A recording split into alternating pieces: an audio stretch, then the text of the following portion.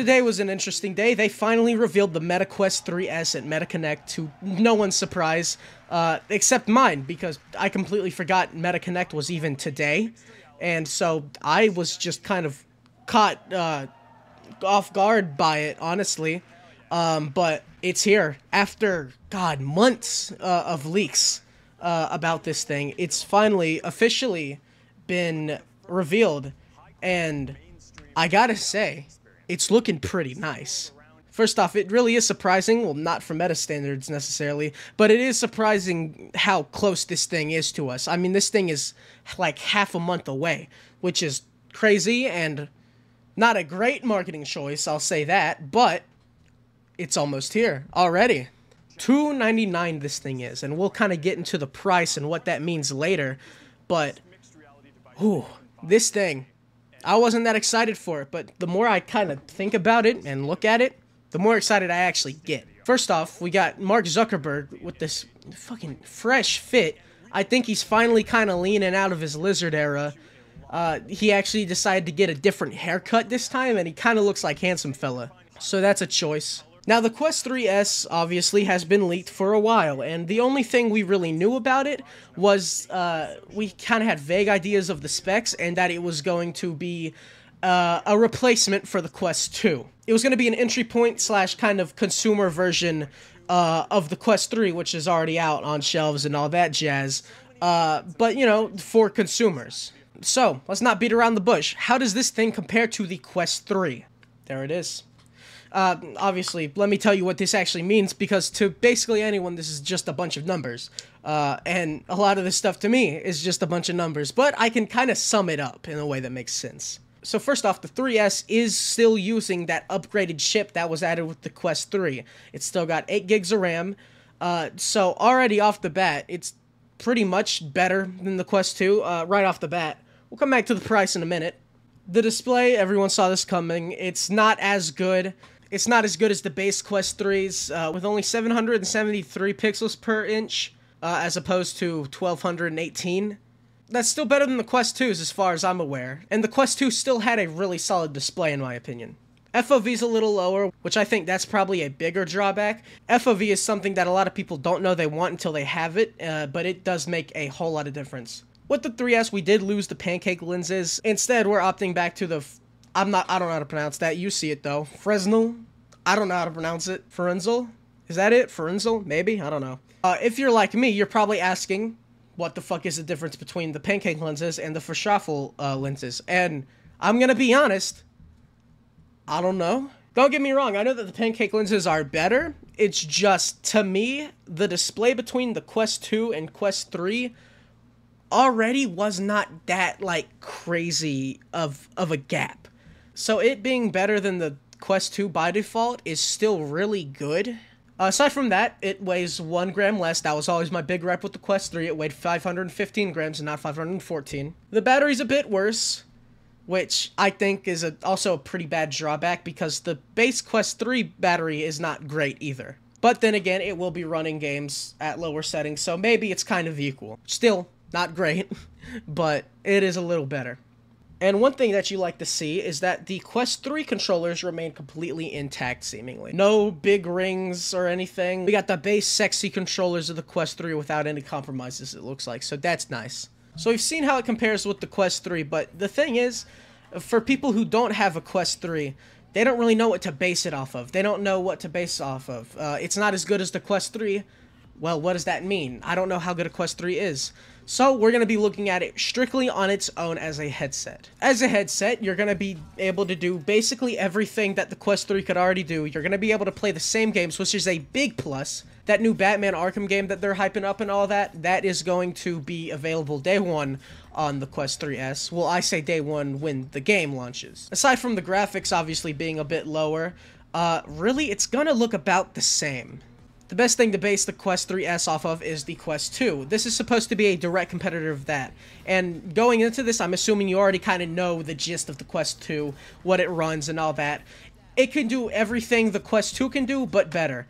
And look at that price. I know the Quest 2 is cheaper than this now because of a bunch of price cuts, but I do know around its launch and for the majority of its lifespan, it was around this price. And and for that, getting a better deal at the same price is that's that's pretty nice. On its own, if you're getting this instead of the Quest 3, I think that's perfectly fine. I think that is entirely fine. That is a perfectly fine choice. There aren't really many compromises when it comes to the 3S than you would think. Sure, the display and graphics might be worse, but the thing is, once you're actually in VR and in that display, it doesn't really matter because, bottom line, regardless if it's worse, it's still pretty damn good. The Quest 3S can run every Quest 3 game. Uh, at least of now, if that changes later, I was I didn't say this, but I I kind of doubt that'll happen because they are shockingly similar. They've got the same amount of RAM, they've got the same uh, Snapdragon chip, so they're both pretty comparable. And the price difference. Oh my goodness, look at that. The Quest 3S is $300, while the Quest 3 is $500. That is a crazy price difference. I think this is an insane deal because while they may be different in terms of specs and whatnot, the difference in specs is not $200. It's more like $100. So the fact that this is a $200 difference is amazing. $300 I think is the de facto consumer price for a console or whatever. $500 was fine, but I still think that's pretty overpriced. Especially if they wanted to make it a consumer headset. But the Quest 3 didn't do that great, uh, compared to the Quest 2 at least. So giving it another shot at trying to make a consumer headset is what we need. I'd also like to uh, give credit to the trailer. Yeah, uh, usually the marketing for these headsets are abysmal, uh, and the trailers aren't that great either. And I do have some concerns with that, that I will go over in just a second. But this trailer, it's good. It's good. I like I like the trailer. We're we're getting back on track. The big selling point of this console is the price. And I think that's a good thing because that's what we need. We need an entry point. The Quest 2 was that and it did great, but the Quest 3 just did not hit that mark, that $500. It was a bit too intimidating. 300, I think that is a perfect price. If they went down to something like 200, I think they'd be cutting way too much off of the Quest 3 experience and it would end up being a complete downgrade across the board. Whereas the Quest 3S, if you don't have the money, I see this as a perfectly fine option. Now, I do have some concerns. One, uh, specifically, the marketing. Now, I said I like the trailer. I really do. However, after the Quest 2, they kind of forgot how to market this thing properly. They have been marketing the Quest and stuff less as a game console and more as a work device, which it's not it won't be that for a while. Uh, and I think if they want all this metaverse, all this crazy shit, they need a player base first. And they're not going to get that player base if they don't have this consumer friendly game console. If they are solidified as a game console and they have a good player base because it's a game console, then I think it would be better to add some work environments into the headsets. But for now, we're just not there yet. They tried doing that with the Quest Pro and it flopped because for one thing, it was way too overpriced, and two, it was shit. And speaking of, this console completely makes two previous headsets obsolete. That being the Quest 2, obviously, which I've talked about, and the Quest Pro. The Quest 3 already made that obsolete, uh, both those obsolete, but the light version of it also uh, makes them obsolete, which I think is funny. But anyways, do I think this is worth it?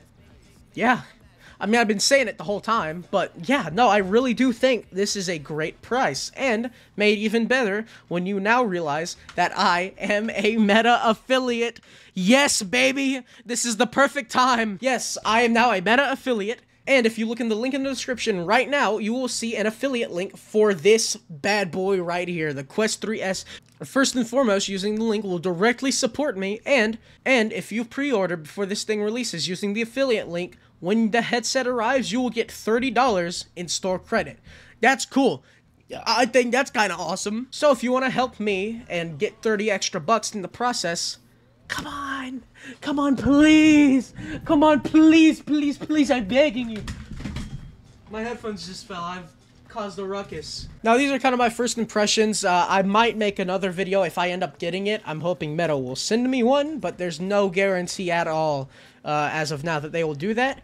But I will uh, update you guys, and if I somehow get my hands on this thing, uh, or more info comes out about it, I will probably, maybe, mm, kind of, maybe, possibly make another video. But for now, these are my first impressions. If you enjoyed, you're new to the channel or whatever, like and subscribe, drop a comment, any of that jazz. I've got memberships, I got a Discord server link in the description, all that bullshit. Thank you for watching, regardless. If you made it this far, thank you. It really does mean a lot. Uh, thank you. That's it. See you later. Oh, one last thing. I have a video coming out Saturday that was recorded before this. So, uh, yeah, just thought I'd let you know that little fact. Anyways, actually, for real this time, bye-bye. I'll see you later. Have a good one.